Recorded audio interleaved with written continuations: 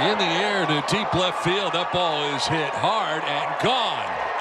A three-run home run for Julio Rodriguez, and the Mariners, with one swing of the bat, take a 3-1 lead.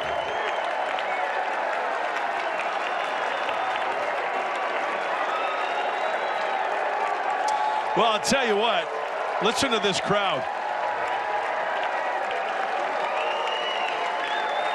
When Rodriguez's name was introduced, uh, these fans, these Mariner fans from the great Northwest erupted. They know what the Mariners have in store in the minor leagues with this kid. They're excited. And there's a big time miss. That is a hanging breaking ball up and in. And he puts this one well over the bullpen. Listen to this. First pitch swinging for Rodriguez, looking for the gap. Heyward on the run, and that will bounce onto the berm for the ground rule double.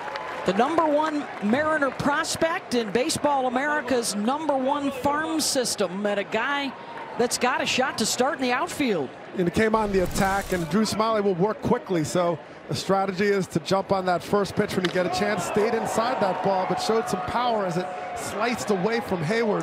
That's a tough play for a center fielder on your backhand side where the ball is hooking more towards right center and right field, running away from you each step that you take. There's something about Julio. There's an X factor with him. As he right on point.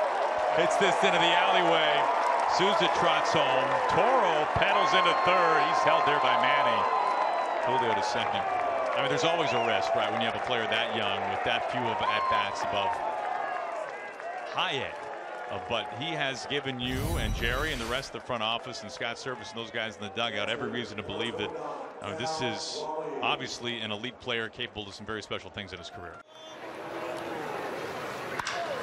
So Julio gives it a ride.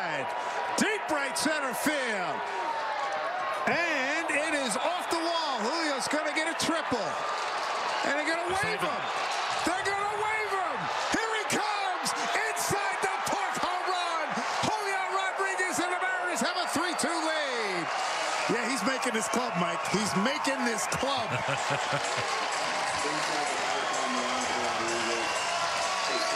Standing ovation for number 44, Julio Rodriguez. Well, you mentioned it. He's been busy in center field. He has an outfield assist. The Mariners now with three runs. He has scored all of them. Base hit, a walk, and now this inside the park home run as it hits off the fence. Good for him. He was flying. Get your tickets now. Had a great spring. Pitch to Rodriguez. Swing and a fly ball deep into the gap in right center field. Going and going and goodbye. Baseball opposite field. Home run off the bat of Julio Rodriguez. Julio's third home run of the spring, and that was a missile onto the berm in right center, and he's just tied this game.